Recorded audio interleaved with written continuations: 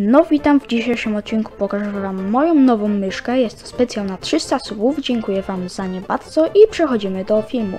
Myszka to Rival 5, jest to według wielu najlepsza myszka dla graczy, ma żywotność aż do 80 milionów kliknięć i posiada 9 przycisków do zaprogramowania, przy czym waży zaledwie 85 gram. Prezentuje się ona w taki sposób, a my przechodzimy do openingu.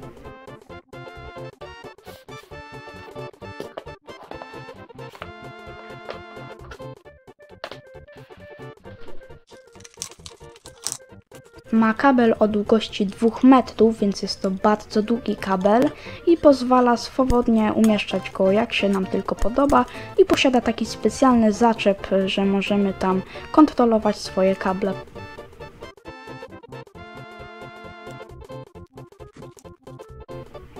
I teraz odłączamy starą myszkę i podłączamy naszą nową, piękną Rival 5. Nasz potwór świeci, a ten przycisk, który sobie właśnie klikam, y, jest to przycisk, który y, kontroluje cypy i jest 5 poziomów.